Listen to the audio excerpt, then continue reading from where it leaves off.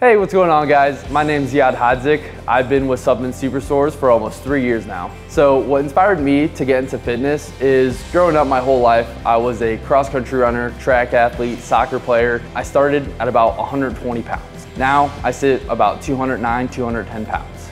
So I was always a super, super skinny kid. I always struggled putting on weight. I felt like I was eating so much and I couldn't really put any size on. And then one day I walked into the supplement superstores at 16 years old and the guys there took me under their wing. They helped me, they wrote me up a plan and really just made it make sense to me.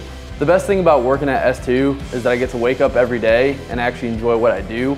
I get to go out, I get to help people, I get to meet new people. And to me, there's nothing more satisfying than just genuinely being able to help people.